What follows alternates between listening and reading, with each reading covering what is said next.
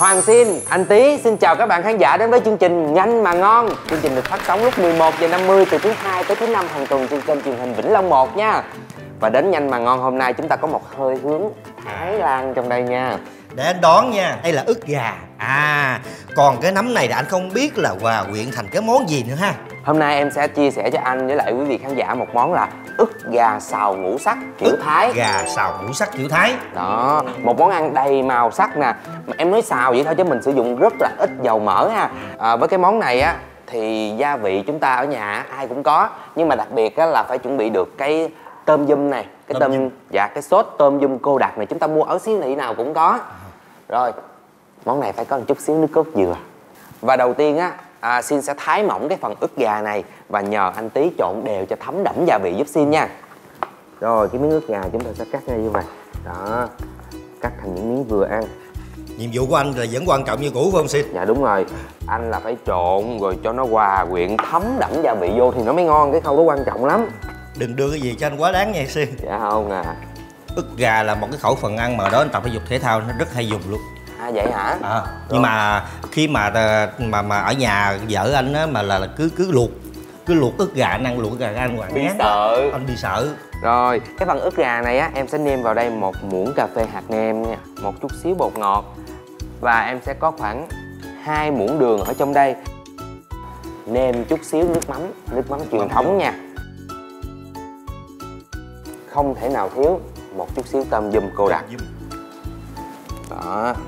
Em sẽ chừa một phần này để chút xíu chúng ta xào lên cho nó thơm ha. Rồi anh trộn hỗn hợp này lại giúp em ha.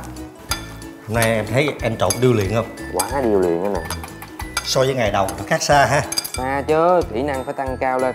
Rồi cái phần lá chanh này xin sẽ sắc nhuyễn và mình sẽ cho vào cái phần ức gà luôn Để cho cái mùi lá, lá chanh thấm đậm vào ức gà ha.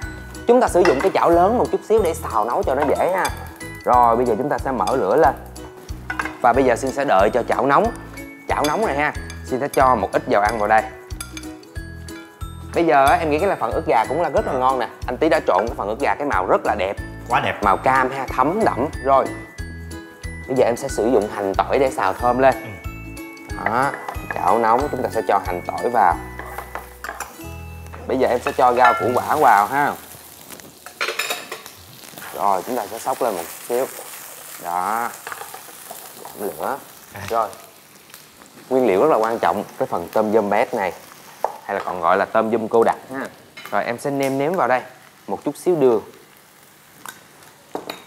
Một Cái xíu tôm- hạt nêm. Cái tôm dum này là anh mới thấy lần đầu là trong đó có, có sẵn vị cay luôn hả? À, ở trong đây là sẽ có nè à, lá chanh nè chanh nè riềng gừng hành tím tỏi bột tôm khô. À. Đó rồi chúng ta sẽ xào lên nha. Đó sau khi chúng ta xào nè cái phần rau củ quả đó rất là bóng bẩy rồi. Em sẽ cho nấm vào nha. Cho nấm vô. Đó mình cho nấm vào. Ở đây em sử dụng là nấm đùi gà mini nè linh chi trắng linh chi nâu. Rồi chúng ta sẽ bỏ vào một lượng vừa phải ha. Rồi chúng ta sẽ xào lên. Như em nói khi nãy á thì chúng ta sẽ xào cho tới khi cái phần hỗn hợp này vừa chín tới. Nhưng đặc biệt đối với món này muốn ngon á đây chúng ta phải có nước cốt dừa đậm đặc bây giờ em sẽ cho cái phần nước cốt dừa vào luôn nha. Thơm quá. Háo hức háo hức. Khi mà gà khi mà gà mà bỏ vô đó thì cái mùi vị nó như thế nào nữa? Đó bây giờ anh thấy nè cái phần mà rau củ quả với nấm của chúng ta đó vừa hơi tái tái lại chưa chín nha. À. thì em sẽ cho cái phần ức gà mà anh đã tẩm ướp vào lý do là cái phần ức gà chúng ta rất là dễ khô. Mà chúng ta xào trước á thì phần ức gà ăn sẽ khô và khó ăn bởi vì đây là phần ức gà thịt không là không có cơ cũng không có mỡ. Cho nên là chúng ta phải làm sao mà cái phần ức gà vừa chín tới thôi là chúng ta sẽ thưởng thức liền ha. Em là em thích nấu mấy cái món ăn mà đầy màu sắc giống vậy nè nó dễ ăn mà nhìn nó không có bị ngán nữa. Mà nó nhanh mà ngon nữa ha. Đúng rồi. Không bây giờ là nhanh là thấy nhanh rồi đó. Ờ. còn ngon hay không đợi chút xíu anh tí anh thử anh sẽ cho quý vị khán giả biết nha Lúc tham gia chương trình xong xuôi là anh ờ, từ là một người không biết nấu ăn không biết vào bếp mà anh cũng làm được vài món cho vợ anh ăn rồi đó. Em thấy anh giỏi không? Thành người đàn ông của gia đình luôn.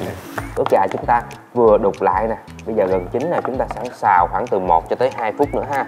Rồi cái phần mà ức gà xào ngũ sắc kiểu thái của chúng ta nè vừa chín tới luôn rồi anh. Thơm quá. Bây giờ là sim với anh tí sẽ cho ra một cái dĩa trang trí lên nhìn cho nó hoàn thiện đẹp mắt. Rồi chúng ta thử coi nó ngon như thế nào ha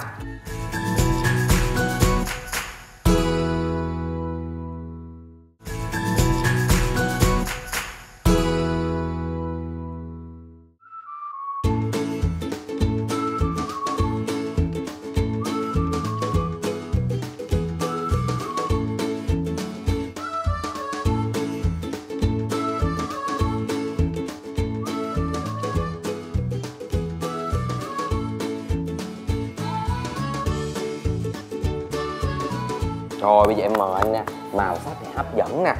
Rồi bây giờ cái phần ức gà xào ngũ sắc kiểu thái cũng đã rất là ngon rồi. Anh thử một miếng gà coi nó có khô không nha. Anh cầm lòng không đậu nữa rồi. Em cũng thử nha.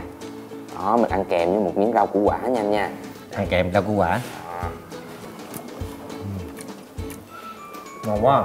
Ừ. cái ức gà ha mềm mọng nước nè.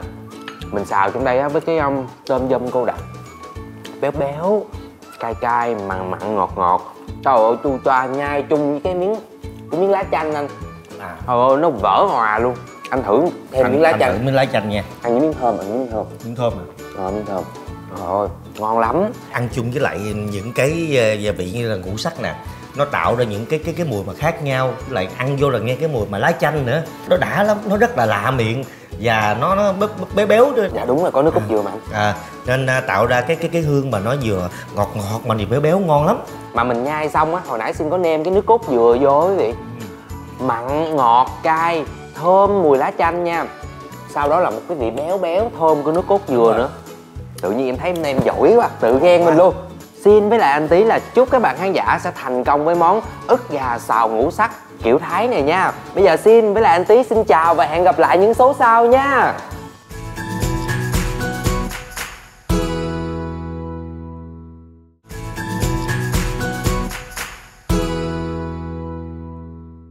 thì ví dụ như đối với cái món ức gà này anh tí với chương trình nhanh mà ngon của chúng ta thì từ một món mà các bạn có thể làm ra rất là nhiều món luôn. Thay vì bữa nay là chúng ta xào ăn thì nó sẽ rất là nhanh đúng không? Mọi người tẩm ướp giống thịt như là em chỉ anh à, tí tẩm ướp vậy đó. Rồi xong mình dùng xiên nha.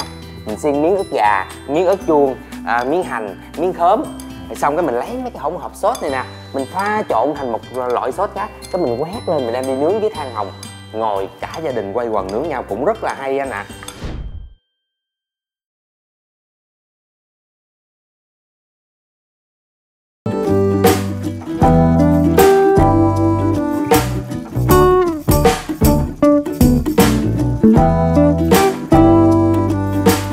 you